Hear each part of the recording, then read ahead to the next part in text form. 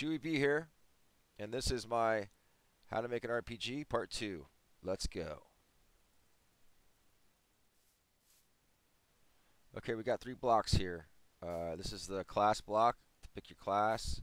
This is the experience block to test it, test your uh, your variables and your leveling up, and this is the leveling up block.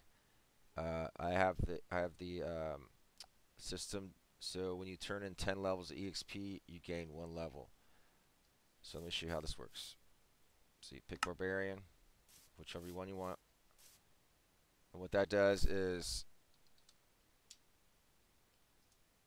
so when you die, you get Barbarian default loot.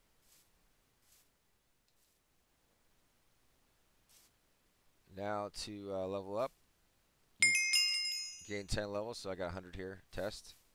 Go here, go click on level 1. Alright, uh, I gained a heart. So uh, you can make it so you can put any attribute uh, that's available in Minecraft in the command slot in the procedure. And I'll show you that once I get into MCreator. But this works pretty well, so if you kill yourself, you still have the heart left. So you can build hearts up by leveling up or other attributes. And let me show you how I did this in MCreator. Alright, back in MCreator. I will be leaving this workspace in the description in the for download. Alright, so to do the leveling up, uh, the experience blocks is pretty uh, self-explanatory. Right click on the block, you get 100 EXP. That's for testing purposes. I'll leave this in here. You probably want to remove that when you're done with your RPG. Just delete that. Um, now to the leveling up. Now you want to make a block, or you can use a GUI so they can hold down like the home key or whatever key, and they can level up through there. Or you you can make a a block, or or you can make something that would spawn in a structure. Uh, that will work too. You can make a block look like a villager. That's what I do. Okay, uh, so for the leveling up, here's the GUI. You want to make it GUI just like this. I mean, not just like this. You want to make it better than this, actually. but uh, this is just for uh, tutorial purposes here. So, all right, this is where it gets a little complicated. So, you want to go to variables. and you want to make a new variable called level and you want to make it persistent in number. And make sure it's zero. And then um, what this does is it checks to make sure the level is zero equals zero and to make sure the player has 10 levels of experience. Then it removes the 10 levels of experience. It uh, sets the level to 1 and then it will execute this command which gives the player health which you can use lots of you can use this command uh, you can use a uh, change almost any attribute pretty much uh, that's that's in Minecraft. And then it sends a message and then it also plays a sound uh, I use the chicken sound but I, I suggest using a better one. And then it closes the uh, GUI That's what it does when you hit the button.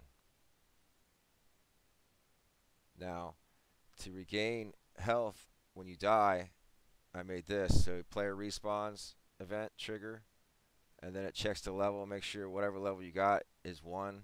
So the player's level 1, it will give him the heart back. You have to do this for each level. So if you have a level uh, 1, 2, let's make one right now actually. Let's make a level 2 button. So let's duplicate this. Level 2. Let's duplicate this. Level 2 death. Go here, open up level 1. Level 2, I'm sorry. Now, you want to change this to 1. So they're checking to see if it's they're level one. They're going to turn in the uh, EXP to get level two. And once they turn the EXP in, you'll change them to level 2. Uh, this needs to set be set to 2, because 2 equals 1 heart. Wait, wait, wait, wait, wait, wait, wait, wait, wait. Nope, nope, I'm sorry. That needs to be set to 24. Not 22, so you, uh, you add an extra heart. 24. Change the message. 2. And save. I go into the uh, the level 2 death procedure. Make that 2. Change this 22 to 24. Save. Now go to your uh, level up GUI. Go to 2. Open on button clicked. Go to uh, level 2. Save. Yeah. They can't spam these either, so once they click them once, it's just only going to give it to them one time. Um, okay. Let's see if it works. All right, here we are back in the game. Um, see if this block works. Oops. Yeah. All right, level two. There we go. Level two button works. Now if I kill myself. I still have two uh, hearts left. Works, works like a charm. Alright, um, if you have any questions, leave a comment below, and I will try to help you through this RPG mess. Uh, the variables can get very complicated. You can have just so much variables that your head will spin. So you want to keep it a little bit simple. Uh, like I said, I'm leaving the workspace in the description below for download. If this helped you at all, please leave a like and subscribe to the channel. I appreciate it. And that's it. See you next time.